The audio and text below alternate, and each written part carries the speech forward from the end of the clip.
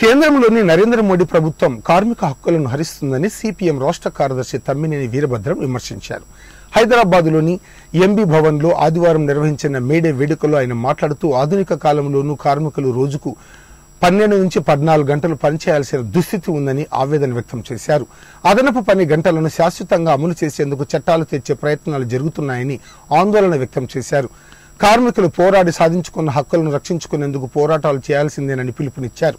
బీజేపీని గద్దె దించితే గాని దేశానికి రాజ్యాంగానికి రక్షణ ఉంటుందని స్పష్టం చేశారు. ప్రత్యామ్నాయ రాజకీయ విధానంతో ప్రజల్లోకి వెళ్ళేందుకు వామపక్షాలు ఏకం కావాలని సూచించారు. సిపిఎం కేంద్ర కమిటీ సభ్యుడు బి వెంకట్ సిఐటియు జాతీయ ఉపాధ్యక్షుడు సాయిబాబా తదితరులు కార్యక్రమంలో పాల్గొన్నారు. రైతులు పండించిన పంటలు అమ్ముకోవడానికి ఉన్న మార్కెట్లు రద్దు చేయాలని చట్టం తీసుకొచ్చింది ప్రభుత్వం. అట్లాగే రైతుల భూముల్ని కంపెనీలు కట్టబెట్టేటువంటి వ్యవసాయ చట్టాలు మార్పు తీసుకొచ్చింది.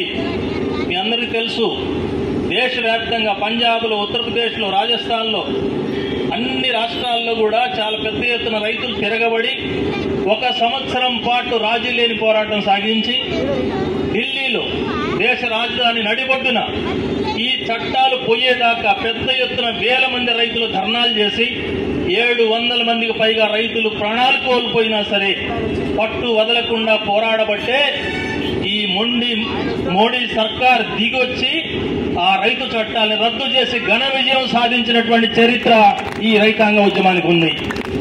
ఆ రైతు ఉద్యమానికి నాయకత్వం వహించిన వాళ్ళల్లో కమ్యూనిస్టులు ముఖ్యులు. కనపడదు. తమిళనాడు దాటిపోతే డిఎంకే కనపడదు.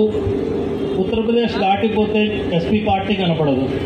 అంటే ఈ పార్టీలన్నీ ఒక్కొక్క రాష్ట్రంలోనే ఉన్న పార్టీలు. కొన్ని పార్టీలు ఉన్నాయి. వాళ్ళు చిన్న పార్టీలండి రాష్ట్రంలో ఉండే పార్టీలండి. మాది కాంగ్రెస్ పార్టీ దేశం మొత్తం ఉంది అని చెప్తారు కాంగ్రెస్ పార్టీ వాళ్ళు. నిజమే. భారతదేశంలో కాంగ్రెస్ పార్టీ అన్ని రాష్ట్రంలో ఉంది. కానీ పక్కల దేశం బంగ్లాదేశ్ పోతే కాంగ్రెస్ పార్టీ ఉండదు.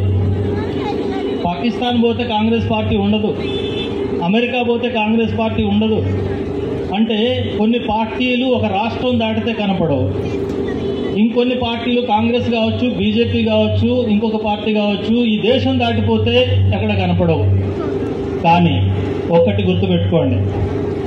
ఈ భూమి పైన భూమి ఎంత లెక్క ఉందో అంతవరకు రెండు వందల ఏడు దేశాల్లో ఏ మూలకు వెళ్ళినా కనపడే జెండా ఎగిరే జెండా అది ఎర్ర జెండా.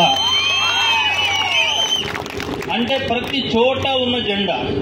అది ఒక చోట అధికారం ఉండొచ్చు ఇంకొక చోట అధికారం లేకపోవచ్చు ఒక చోట గెలవచ్చు ఇంకొక చోట ఓడిపోవచ్చు ఒక పంచాయతీ బోర్డు రావచ్చు ఒక సొసైటీ ఓడి